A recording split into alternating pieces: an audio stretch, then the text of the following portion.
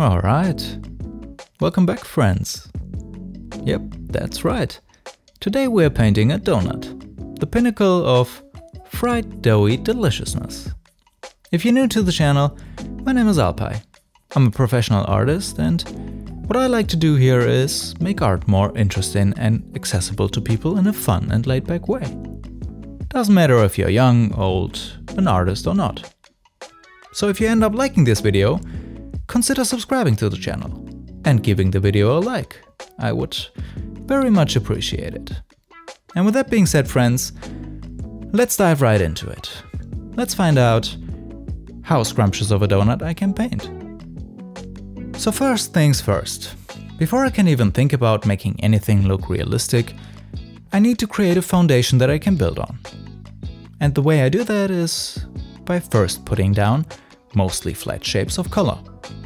The donut itself is most fundamentally only made up of three different shapes of color. The pink glaze, the brown crust, and the tan color of the dough. Add to that one more shape for the shadow of the donut, in this case a dark gray, and we have ourselves a nice base to work with. Once I've got some paint down, I can start to mold and manipulate it. And each of the shapes that I just put down gets divided into shadow and light areas. This way, I can slowly start to build up some depth and volume, which is exactly what we need if we want to make this look real. A few flat shapes of color, some light and shadow here and there, and things are already starting to take shape. But how exactly does that work? There's a common misconception when it comes to realism, and that is to make something look as real as possible. You have to be as accurate as possible. And you also have to capture as much detail as you can. The more accurate and the more detailed, the better.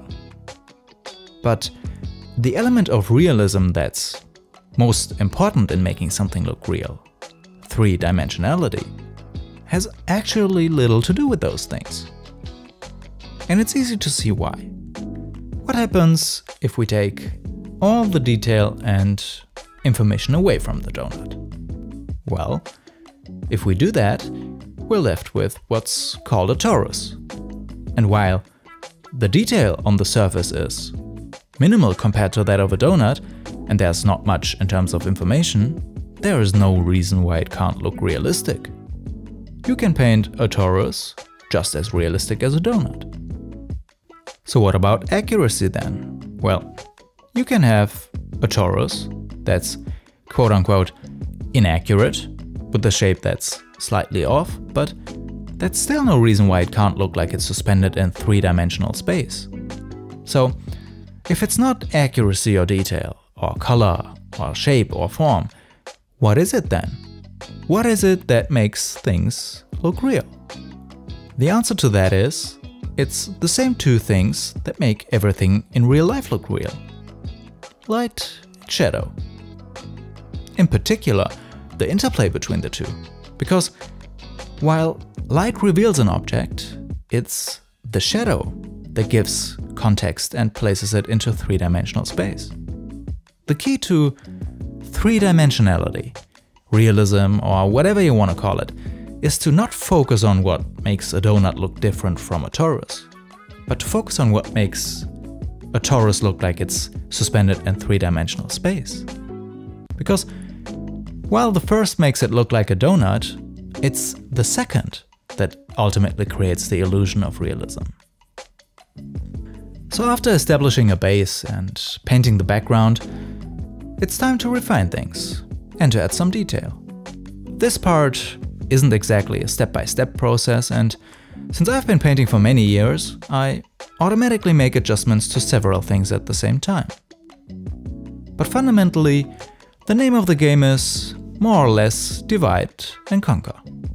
I divide large areas into smaller ones, and I do the same thing that I did at the very beginning of the painting.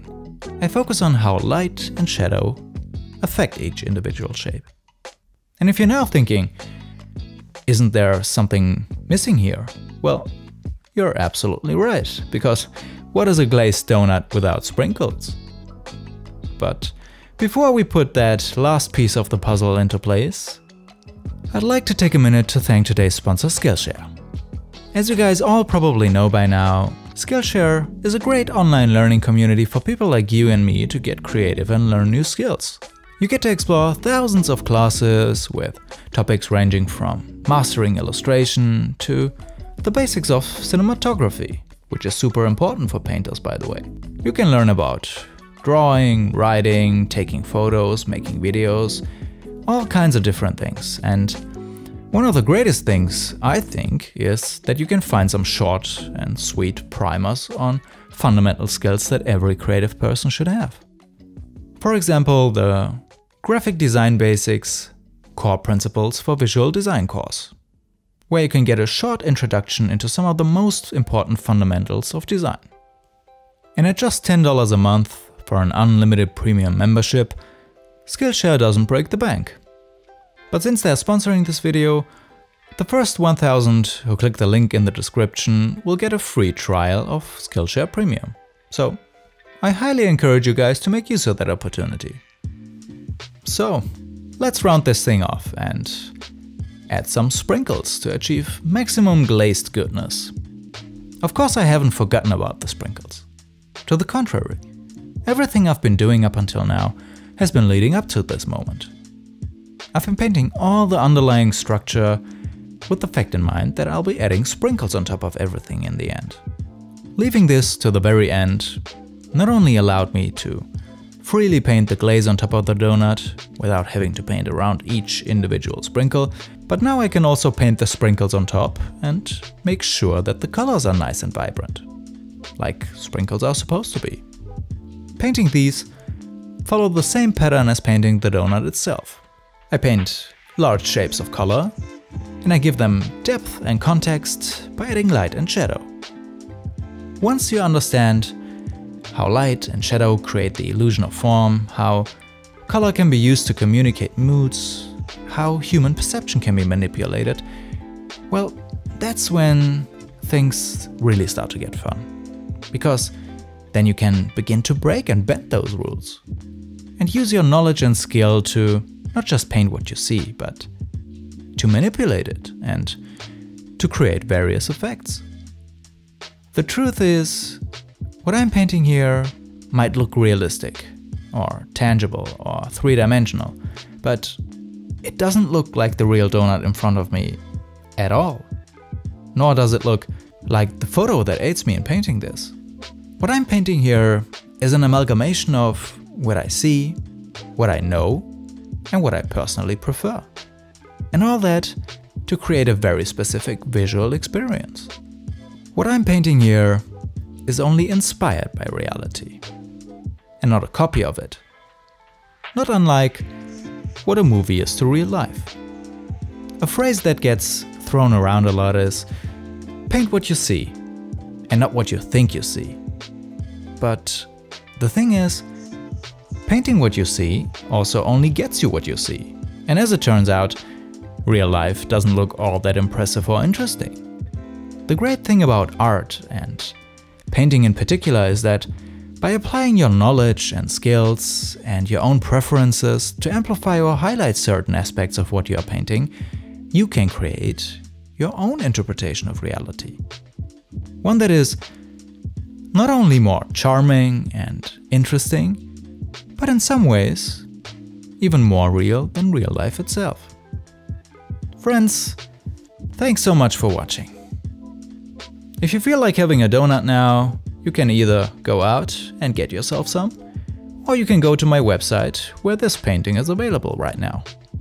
And if you like the video and you want to support the channel, you can do that too, by becoming a patron. By becoming a patron, you not only help me keep creating these videos, but you also get access to a bunch of cool rewards, like joining the exclusive Art Minds Discord server or a look behind the scenes at what I'm creating when I'm not making videos for YouTube. And with that being said guys, we're gonna bring this video to an end. Special thanks to all patrons of the channel for being so amazing and making these videos possible and thank you all out there for watching guys.